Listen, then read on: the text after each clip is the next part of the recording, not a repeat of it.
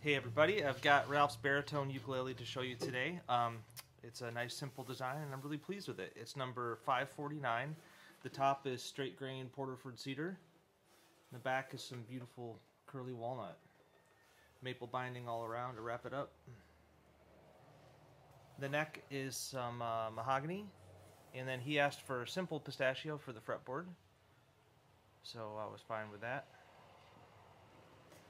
yeah, it turned out great. Um, you guys know that Port Orford cedar and walnut is tried and true for what we do, um, and uh, sounds great on a baritone as well. The challenge with baritones is that they're often too heavily built or overbuilt, and they kind of sound mushy or muddy.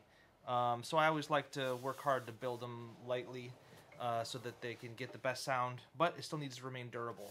So, you know, you want a good stiff neck, but not too heavy. The back and sides need to be heavy enough to reflect, but not weigh it down, and you do need a nice and thin top. So anyway, yeah, this one checks all the boxes for me.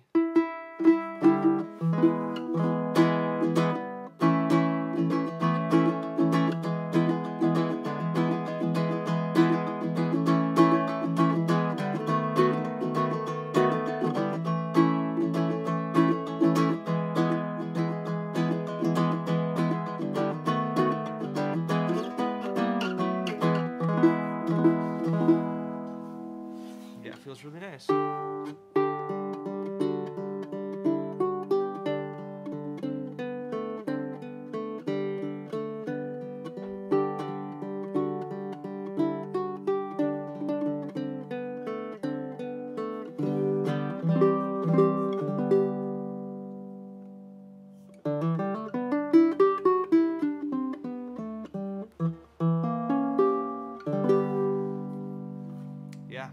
Simple, sweet, lovely.